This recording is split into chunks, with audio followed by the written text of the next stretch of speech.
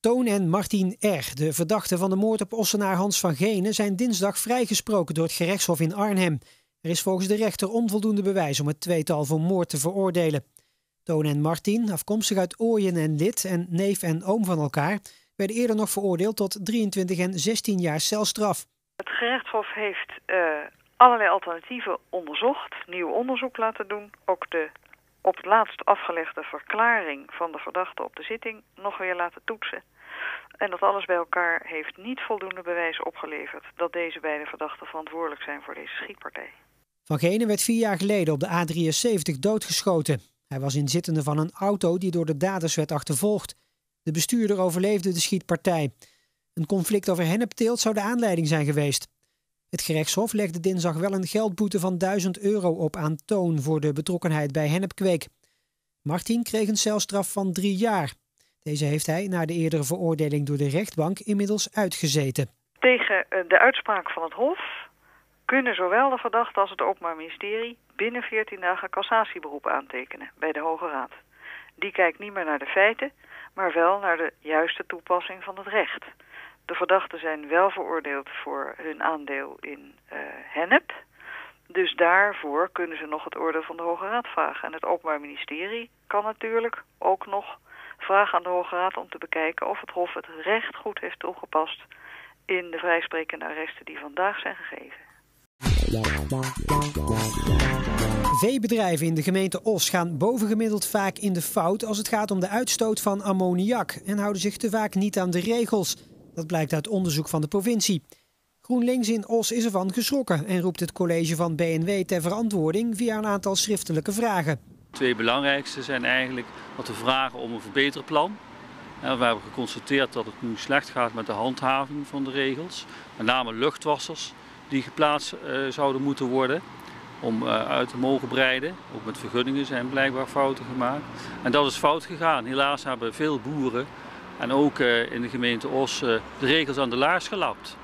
Dus wij vragen om een verbeterplan, zo spoedig mogelijk.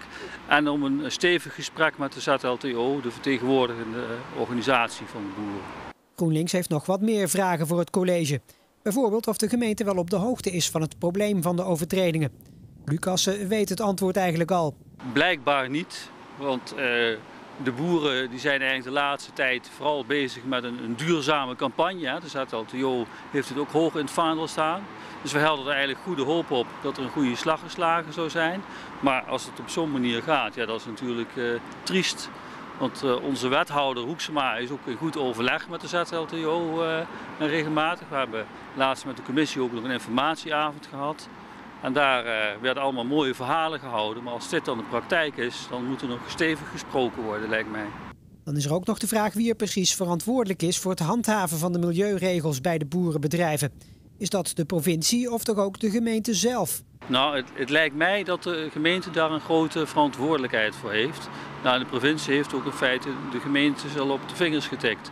En ik was erg geschrokken dat Os als eerste genoemd werd. En meer dan de helft van de, de boeren die zijn gecontroleerd is dus een overtreding. GroenLinks wil in ieder geval snel antwoord op haar vragen.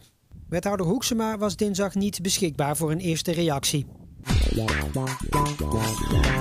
Dinsdag 18 september, Prinsjesdag. Aangezien ze in Den Haag nog in de formatieperiode zitten, is het lastig te zeggen of de gepresenteerde plannen daadwerkelijk worden uitgevoerd door een nieuw kabinet.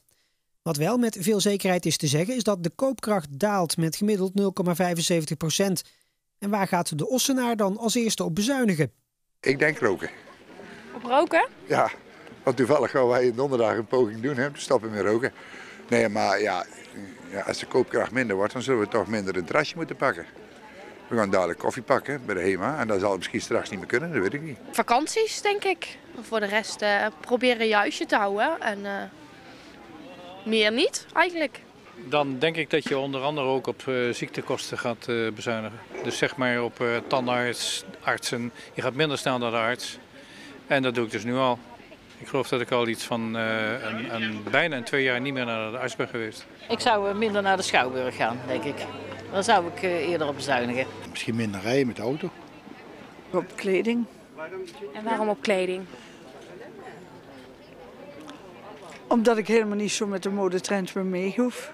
Ja, ik heb de tijd van de overjarige tieners, de leeftijd.